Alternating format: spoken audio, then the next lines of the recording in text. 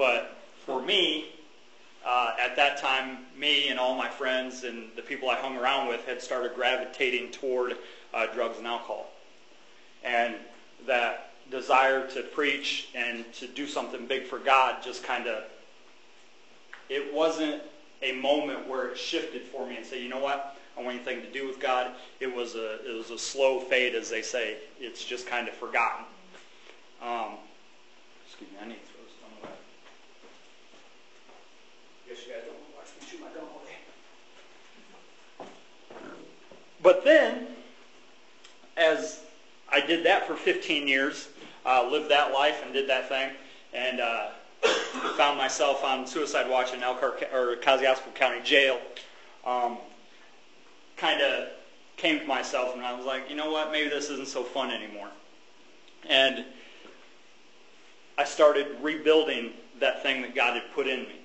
Uh, I started coming to church. It's actually been six years ago this week, I think, either last week or this week, six years uh, since I came to my first service at New Life Christian Church and World Outreach, and then went to a football game that evening and played uh, a crazy 30-30 flag football game um, that we don't do anymore because it got too violent after a few years. Uh, but I was hooked, and I said, "Yep, this is what I want." And I saw uh, Pastor Lowe on stage, and he reminded me so much of that big Baptist preacher. He just captivated you and brought had your attention, and everybody, you know, honored him and respected him. I said, "Yeah, this is it." And so that began me rebuilding that thing in my life. Um, it was it was funny. This is the second time now that I've been planning a message where, while I'm planning it, someone posts something on Facebook that contradicts my message completely. I hate that. Um, I'm talking about doing something great for God. And someone posted on Facebook the other day, we shouldn't ask what great thing we can do for God, but what great thing God can do through us. I'm like, all right, you know, it's, I think sometimes in the name of putting a quote on Facebook, we kind of split some hairs that don't need to be split. Um, yes, God does it through us. Yes, we allow God to work through us. But man, who doesn't want to, what Christian doesn't want to do something big for God? You know, I mean, that's kind of what we're here for, is to do something for God. So, um, Nehemiah 6.15. This is the end of the story that we're looking at. It's not the end of Nehemiah's story, but it's the end of this part of the story. And it says in uh, verse 15, says, So the wall was complete, completed on the 25th day of Elul in 52 days. We serve a supernatural God who we don't even, I mean, honestly comprehend. I, I study this word and I, I look at commentaries and I, I know some word and I know what it means.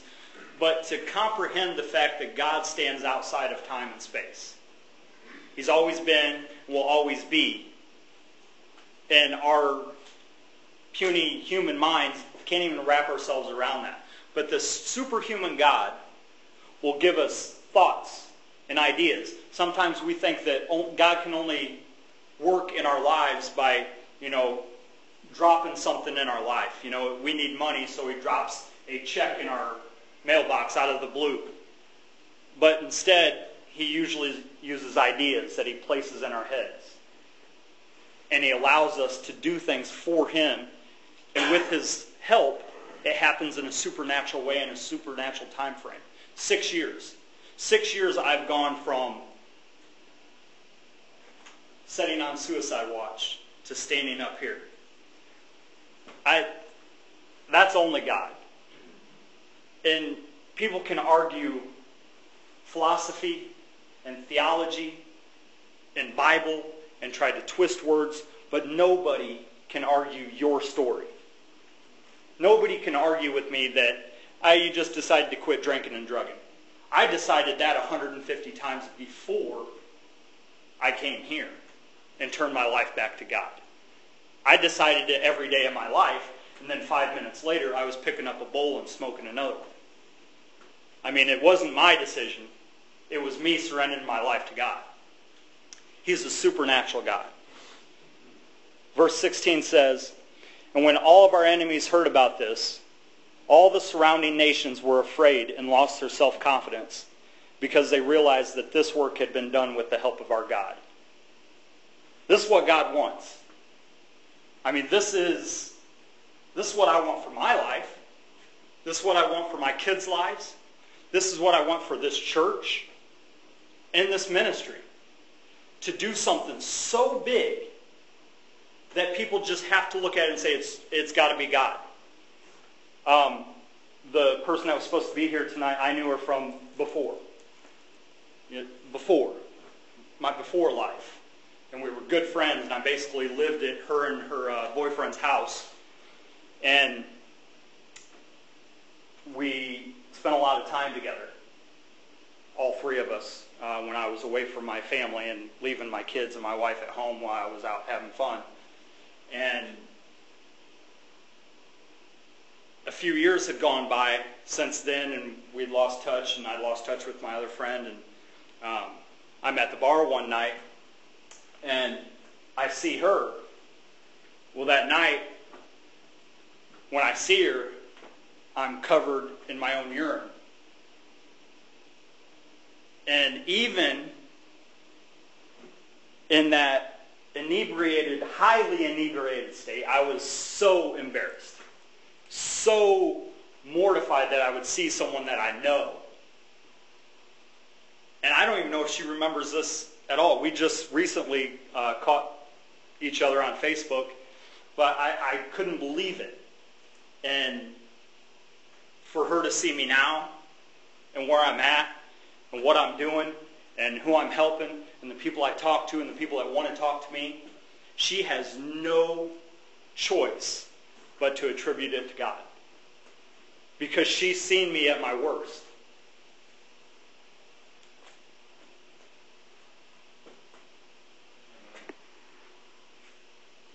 I've never seen a wall rebuilt in 52 days. But I've seen my life and my marriage um, go through a miraculous transformation. The city wall is nothing compared to my marriage. You know, me rebuilding my marriage is the single biggest thing that I could do for God. After that, it's all kind of icing on the cake. Um, because by rebuilding my marriage and allowing God to do that, I've saved my kids' lives. I mean, six years later, I don't know where my son would be at 15, going on 15 right now. If I was, st- I wouldn't be alive, really. I know that. But for him to be fatherless and uh, dealing with that in his life, man, or my daughter, you know, at 11 years old, I, I can't imagine. So getting ourselves right for ourselves and for our family is the biggest thing we can do. But it doesn't stop there. So I want to look at uh, four, four ways, four reasons, four questions we have to ask ourselves if we really want to do something for God. And hey, we're all at different places. We're at different places in our recovery. We're different places uh, spiritually. We're different places in our faith and our belief. Um, that's the tough thing about the Celebrate Recovery thing is um, it's got to be Christ-centered. That's the whole point. That's why we are here. That's why we're Celebrate Recovery. That's the, the cornerstone of it is it's Christ-centered. So the, the tricky thing is that you don't know where everybody is in their spirituality. You know when you're coming to a church service you're going to get preached to. That's what they do at church. Well, this is kind of on the edge of, well, is it AA? Is it church? What do we, you know, we just sang people raising their hands. Um, it'll always be Christ-centered. Um, I hate that some people won't come back. We've had a few people that's been here for their first time when I've been standing up here. Haven't seen them since. I don't know why. I don't know if time thing got in the way or if it was, you know what, I really don't want that much God in my recovery. It's the only true way to recovery. I know that. Four ways, four questions we have to answer be used greatly by God. Hey, we're in recovery. We need something to do. Uh, personal inventory I did last time, I talked about keeping a journal. Uh, If you haven't started it, I would recommend it. It's huge. You see patterns. You see the reasons why you do the things you do. Um, but you, you need something to do. Then I taught on a. Uh, what's up, bub? I taught about uh, when you feel empty inside and the four things you can do to fill yourself back up. We need things to do as people in recovery. Uh, a lot of spirituality and stuff like that is great and it's true and it's biblical, but we're trying to save our lives here. And it, all it takes is one little slip and we start all over again. And there's nothing, nothing more painful than feeling like you've walked 100 miles to find out that you're right back where you started or even 100 miles behind where you started. That sucks. So we got to always be aware of what we're doing. Number one, will you embrace your misery and make it your ministry? Those two words, misery and ministry, kind of seem like they don't really go together. Um, I've been doing this and not just standing on a stage and speaking, but speaking into people's lives individually on the, on the job or at church or different areas to know that there's misery that goes along with it. Uh, there's a verse in Proverbs that says, where there are no oxen, the manger is clean. Which basically means if you're not doing anything, then you've got no crap to clean up. And that's the same thing with ministry. If you're not, if there's not a certain amount of misery in your life because of the people you're ministering to, you're not doing enough. But not only that, there's misery that comes before you even start your ministry. And that's going to lead you to what your ministry is. There's things that breaks your heart that will lead you to think, maybe that's my ministry. Nehemiah chapter 1. We'll go back to the beginning. Verse 1 says, The words of Nehemiah, son of Hakaliah, in the month of Kislev, in the 20th year, while I was in the citadel of Susa, Hananiah, one of my brothers, came from Judah with some other men. And I questioned, questioned them about the Jewish remnant that had survived the exile and also about Jerusalem. All right, a little backstory for all of us that are not Bible scholars. Israel is now in, was in captivity, right? Jeremiah came along, told them many, many years, you guys are going to, going to go into captivity. You're not listening, you're not doing what God says. 77 years you're going to be in captivity. So they were taken away. So now the uh, Persians have come along and kicked the Babylonians out. Persians said, you know what, if you guys want to go back to your homeland, you can. And I guess uh, one commentary says 50,000 of them went back into their homeland, like 2%. The rest of them stayed in the Persian Empire. Because the Persians were really nice to them, actually. This is the whole time where uh, Esther comes along, you know, and once she stands up for him, and uh, Xerxes, you know, steps up, it's kind of smooth sailing. You know, they're not really held in captivity. They're just living there, just like Jeremiah told them to do. So this is Nehemiah asking his brothers what's going on back there. And verse 3 says, They said to me, Those who survived the exile are back in the province and are in great trouble and disgrace. The wall of Jerusalem is broken down and its gates have been burned with fire. When I heard these things, I sat down and wept. For some days I mourned and fasted and prayed before the God of heaven. So they had gone back. Uh, Zerubbabel took them back. They went back with Ezra. Ezra was a priest. So they started um, setting up the, the law again, which is what they were supposed to do. Problem is, they weren't worried about the city wall. So every time they kind of started to rebuild it a little bit, someone would come in and tear it down again. They were worried about the godly things, but they weren't worried about the practical things. And Nehemiah heard this, and he was very distraught. he sat down and wept. What's your burden in your life?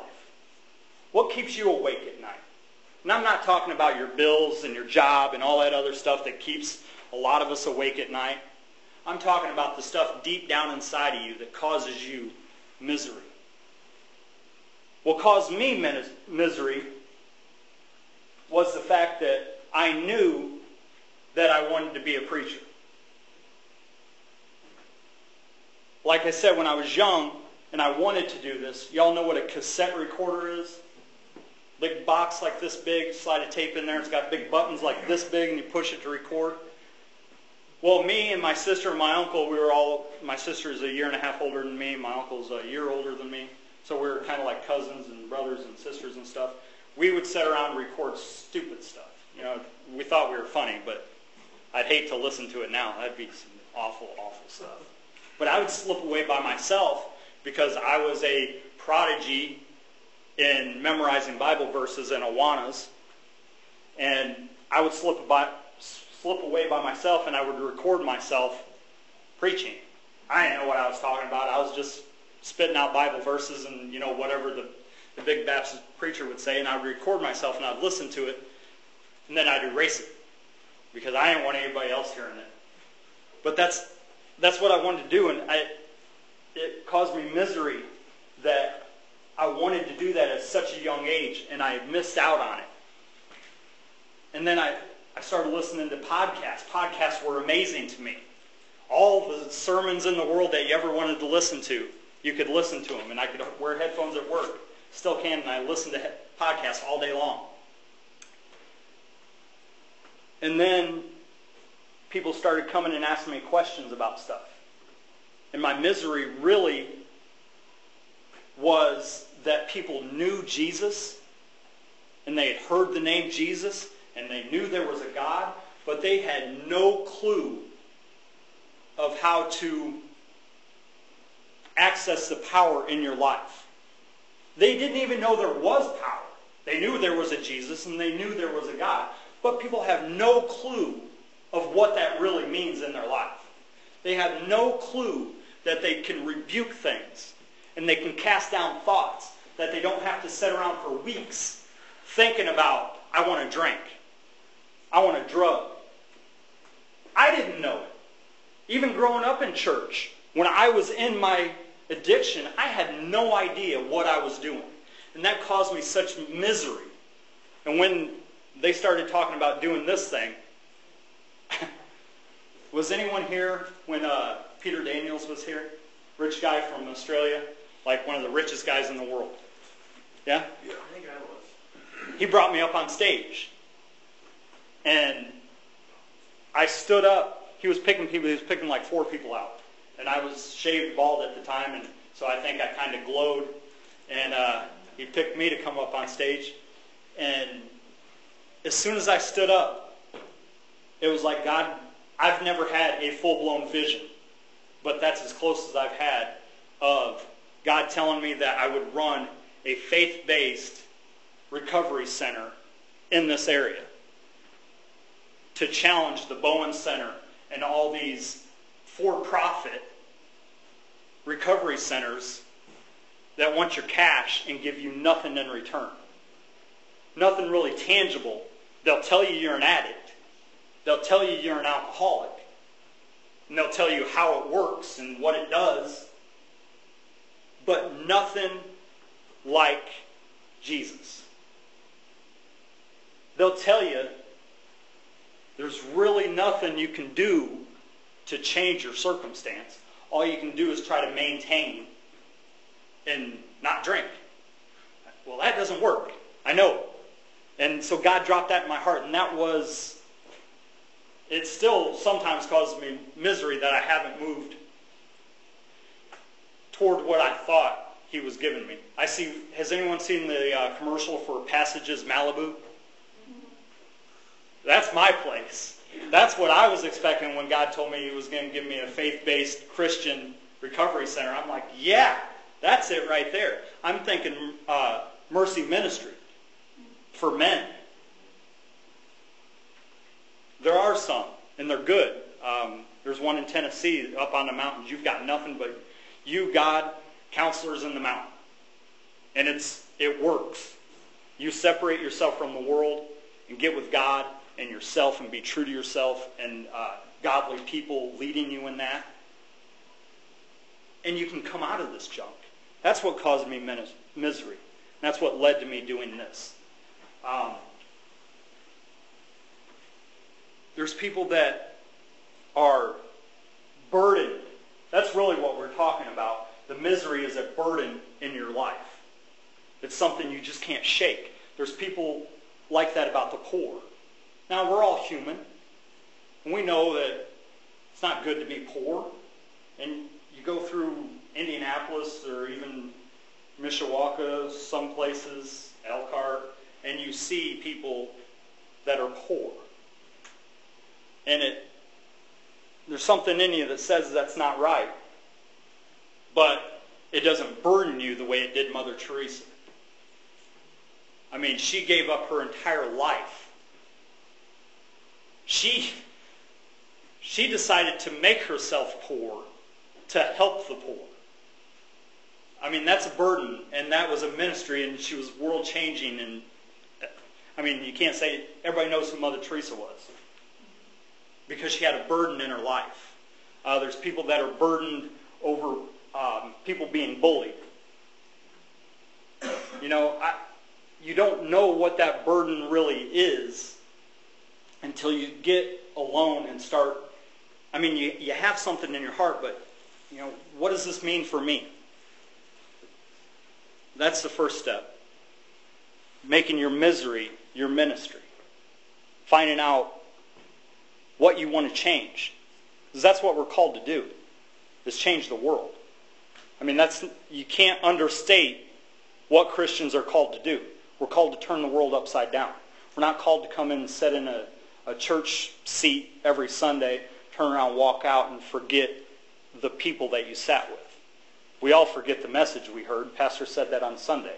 Even he forgets the message he preached as soon as he walks away. But you can't forget the people that you set beside. That's the whole point. You take a little bit of the message, apply it to your life, and help the people beside you. Question number two. Will you exchange your comfort for your calling? At the end of chapter 1, there's a weird sentence from verses 5 through 10, 5 through 11. Nehemiah goes on to, to make one of the most impassioned prayers in all of Scripture. I suggest you read it sometime. But then at the end of verse 11, it says, let me look. I don't have it here, but I want to look at it. I don't want to misquote it. Nehemiah 1 11. I was cupbearer to the king. That's it. That's how it ends. It gives us passion's prayer and then it ends with, I was a cupbearer to the king. And then it starts in verse 2. And he goes on, and I'll read it in a second. But there was no good place to put that. It just kind of got added there. Cupbearer to the king. What's that mean? He brought him his wine. He was a trusted advisor. He was his closest advisor. He had a comfortable job. He was a Jew living in Persia with, if he wasn't the vice president, he was up there.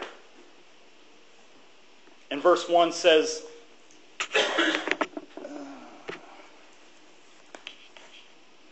In the month of Nisan, that's right after the month of Toyota, before the month of Mitsubishi. Month of Nisan, in the 20th year of King Artaxerxes, king of Art, King Artaxerxes. That's the son of King Xerxes, Esther's husband. Her son, it would be actually her half son, is now the king. That's why he has the place that he does.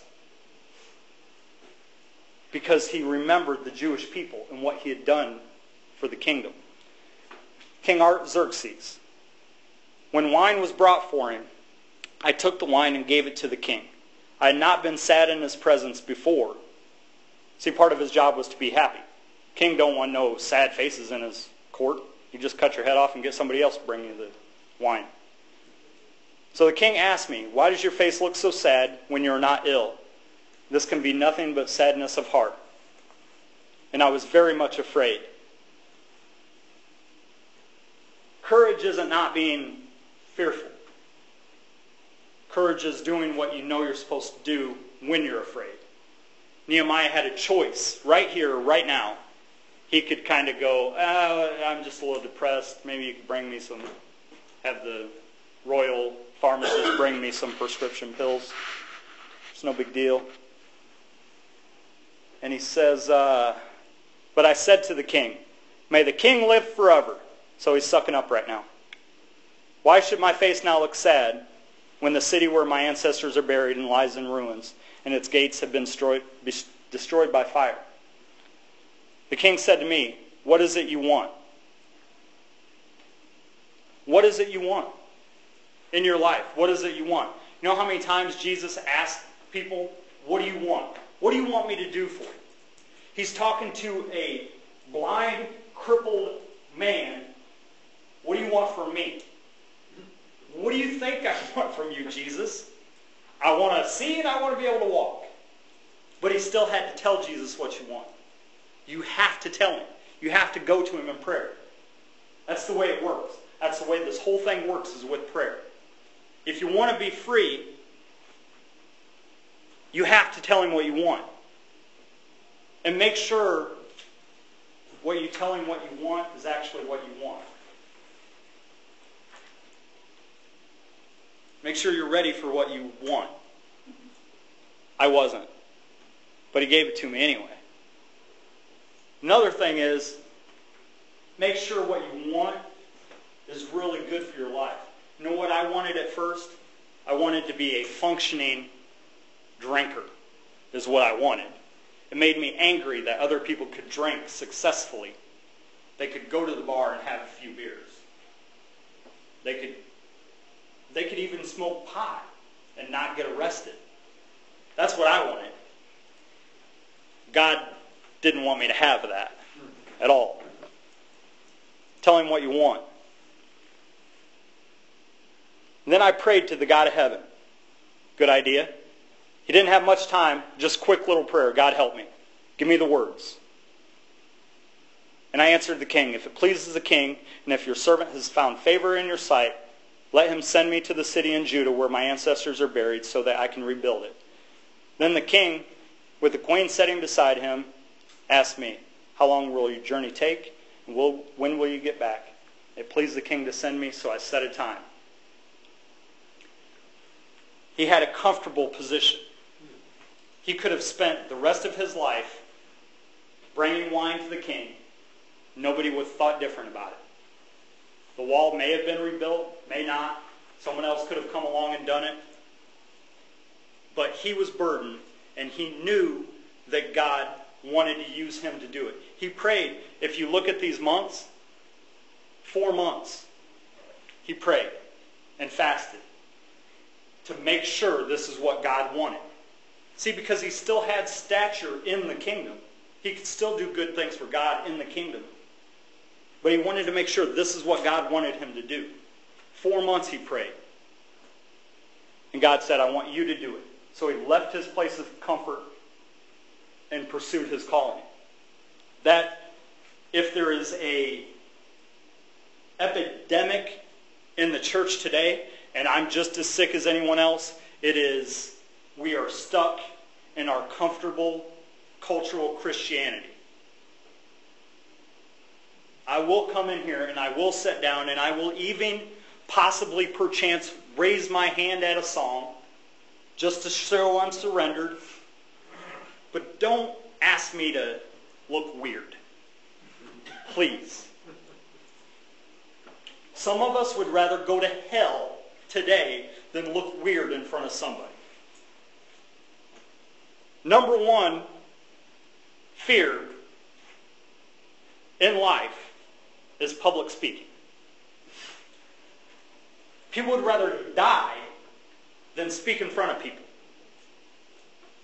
I was there at a time myself. Now I don't care. I told God a long God actually told me a long time ago, you don't get to say no to anybody asking you to speak. You want this? There you go.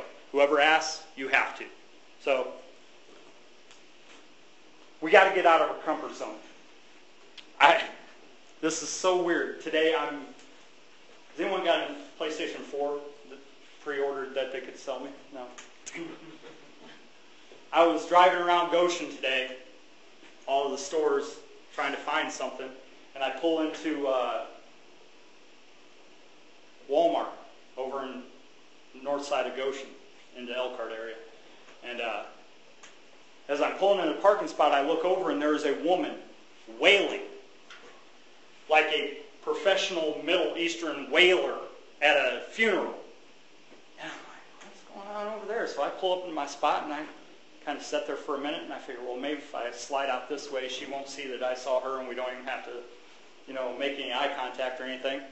And I get out and right there she is and she's crying. And her husband's sitting, her, I guess it's her husband, sitting beside her and he's just kind of going, this is weird.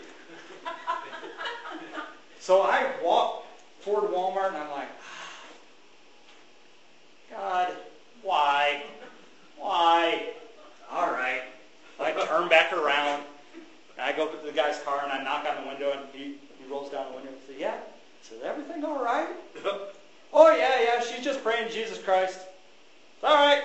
God bless you. And I walked away. I, she's just praying. She's, you know, some, some people wail when they pray. I did not want to find out what that situation was all about. I, it could have gone any number of ways, but I had to step out of my comfort zone. Just Sunday morning, I'm standing on the front row. I'm in John Bryan's seat. Jeff Miller, one of my best friends in the entire world, is standing beside me. We're during, doing praise and worship. If you don't know Jeff, Jeff's got a bad back. He's basically got a broken back, and he works RV, and he's amazing, um, and works through it to support his family. But uh, we're praising and singing, and I've got my hands up, and I'm surrendered to God. And I look over, and Jeff's down on one knee, and he's praying. Uh, Holy Spirit says, uh, "Why don't you put your hand on his back?" God, I'm just trying to praise and worship here. I'm not trying to make a scene. And besides, what if I break his concentration? He's trying to praise. You know, I don't want to mess with him. Just put your hand on his back. So I sing a couple more verses. Just pray for him. He's your best friend. You're in a freaking church where they lay hands on people, they pray for people, miracles happen. What are you worried about? Looking weird. They're all weird. Amen. and I didn't do it. And the song finished and he stood up and I missed my moment. I was so, I was mad and I was ashamed a little. We have opportunities in our life every single day to step out of that comfort zone. Every day. Whatever your issue is, you have a chance to walk away from it every single time it comes up. Whether it's, you know, drinking drugs, whether it's pornography, whatever it is, there is a moment where God calls you to step out of that comfort. Yes, I know it's a crutch. Yes, I know your body needs it. Just step out of it. Just come out of that comfort. It's amazing how easy it becomes after you do it the first time. But see, there's also a, a danger in that because what was once uncomfortable can become very comfortable. And once you start laying your hands on people and start praying for them, it becomes ritual almost. You're doing it with no faith. We were never, ever called to be comfortable. Never. All of the disciples were killed. I'm not asking you to go get martyred. I'm asking you to reach across the aisle, help a friend, pray for a friend. Stop and ask a crazy woman screaming in the middle of Walmart parking lot, what's going on? Why are you screaming? Oh, you're praying, okay. It's all good. We're called to take, take up our cross is what we're called to do. That's our jobs. You will never, ever, ever do something for God if you just want to be comfortable. Will never happen. You will do small things. You'll get through in life, but you will never reach your God potential if you don't get uncomfortable. It's so huge for us. Number three. Will you put the wrong people out and let the right ones in? I'm talking about people in your life. Chapter 2, verse 11 says, I went to Jerusalem, and after staying there three days, I set out during the night with a few others. I had not told anyone what my God had put in my heart to do for Jerusalem. You got to get people around you that you trust, that you know have the same focus in life that you do. Jump down to verse 19. But when Sanballat the Horonite and Tobiah the Ammonite official and Geshem the Arab heard about it, they mocked and ridiculed us. What is this you're doing, they asked. Are you rebelling against the king? I answered them by saying, The God of heaven will give us success. We, his servants, will start rebuilding, but as for you, you have no share in Jerusalem or any claim or historic right to it. As important, and maybe more important, of bringing people alongside you is pushing the people out of your life that are wanting to hold you back. Because they're around and they'll tell you they love you, and they do love you. A lot of people don't want to see us succeed because it reminds them how much they're not doing, especially in a church situation. There will be people in the church that try to tell you to chill out, that you're doing too much, that you're doing it a little crazy, that you've never been to Bible school. You've got no reason standing up and talking to people. I just remind them the disciples never went to seminary either. You got to get those people out of your life. And I'm not talking, see, this is the thing. I'm not talking about drawing a circle around certain people and just ignoring them. Because we're not called to do that either. I'm talking about drawing a circle around your spirit, not letting certain people affect that spirit. Love them. But don't let them affect your heart. Don't let them speak into your life. You know, if you're on fire for God, don't let someone tell you that you're too on fire for God.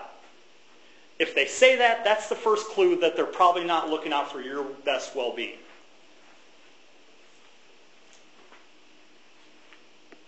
It's a sacrifice. Uh, quote here says, you have to have the right voices to make the right choices. None of us know everything. None of us even know sometimes what's best for our own lives. We have to let people into our lives that love us and will speak into those lives. Number four, will you take your stand against the enemies of your God? Nehemiah 6, verse 1. When word came to Sanballat, Tobiah, and Geshem the Arab and the rest of our enemies that I had rebuilt the wall and not a gap was left in it. Though up to that point I had not set the doors in the gate, he was almost done. He almost finished one part of what God had called him to do. You will meet the most resistance when you're close to doing what you're supposed to be doing. People will come against you when you're at the finish line. Sanballat and Geshem sent me this message. Come, let us meet together in one of the villages on the plain of Ono. But they were scheming to harm me. So I sent messengers to them with this reply. I am carrying on a great project and I cannot go down. Why should the work stop while I leave it and go down to you? We have to stand against our enemies. And sad to say, this world of church has our enemies so screwed up. Our enemies are not Buddhists. Our enemies are not Muslims. Our enemies are not homosexuals. Our enemies are no people. Our enemies, Satan and ourselves. Our own flesh is our biggest enemy. That is the number one way our true enemy can get to us. By through, through our faults and our failures and our temptations. He laughs that we've got this so screwed up and we're looking at other people as our enemies. He thinks that's hilarious. Meanwhile, we're destroying our own lives by not doing the things that we know we're supposed to do. The point is, there are things as Christians we stand against. We stand against compromise. We stand against hypocrisy. We stand against judging people we don't think are on our level. They're just, we can't allow it. I hope and pray some of you sitting here will forgive my previous statements. Just trying to make a point. We cannot compromise and think that we're going to do something for God. He sends a message back. Four times these guys sent the same message. I can't go down. Why would I leave this work to come down and see you guys? I know what you want. We've got to do the same things with our flesh and the thoughts that come against us. Why would I stop doing what I'm doing for just a little bit of earthly pleasure? There is too much riding on it. I have literally, and you can say I'm overstating this if you want, there are literally lives hanging on whether the fact I stay sober or not. My life, my family life, and people around me. There are people watching and waiting for me to go drink just so they can say, see, it doesn't work. Why do I need to try? He'd been sober six years. Facebook every day. Jesus this, Jesus that. There's his name in the paper. I've got too much riding on this to let myself fall. Got to get in the Word every single day. That's kind of fanatical. Yep, it is.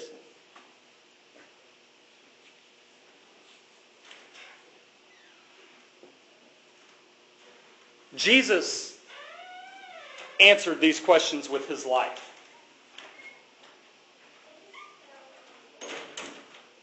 Jesus' earthly ministry was all about misery. How many times does it say he was moved with compassion? for hurt, broken people. All he did was teach, preach, and heal people.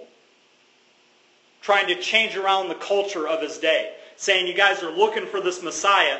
I'm him. Pay attention. Won't you listen? You want to talk about giving up your comfort for your calling?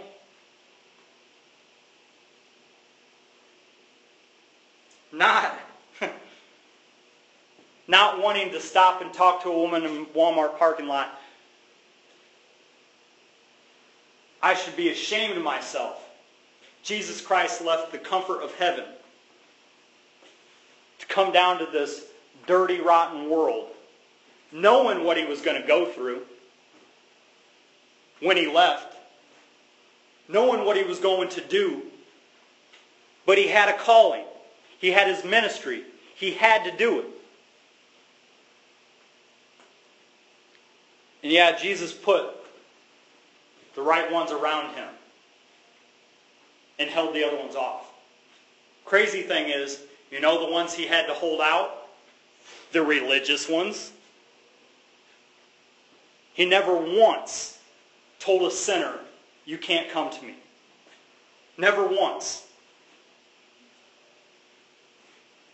He held his disciples close to him. And in his most important moments, he had Peter, James, and John. I love you other disciples, but me and these guys, we got to go do something. You guys got a little bit, a little bit too much unbelief. We got to go do something right now. We'll come back. He had his close, close circle that he took with him. and he definitely stood against the enemies of God. He stood against Satan in temptation. He stood against Peter several times. Said, Get behind me, Satan. Because Peter didn't want him to go to the cross. He didn't want him to fulfill his calling. He loved him too much. It's like, Jesus, this is just a little too much. You're starting to talk about dying now. I don't, we don't like this. He told Peter, if you don't wash my feet, you've got no part in me. You've got to learn to serve, Peter. And he stood against the ultimate enemy, death. The only reason we're sitting here today, the only reason 2,000 years later we're still talking about this guy is he conquered the enemy of God, and that's death to give us eternal life. Let's pray.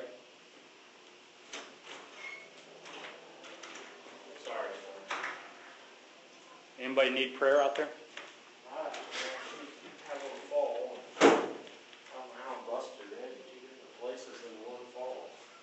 She bounced.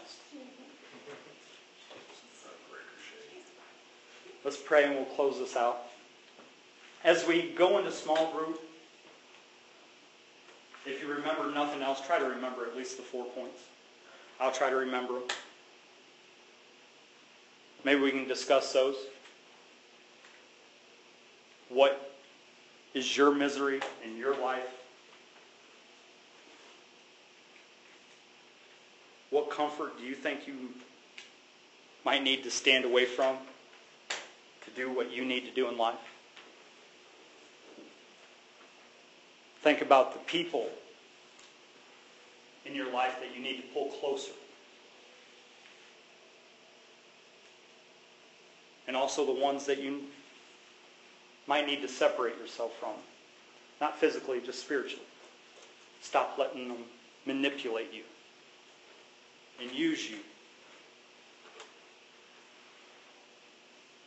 And how you can stand against those things in your life, those enemies of God, the true enemies of God,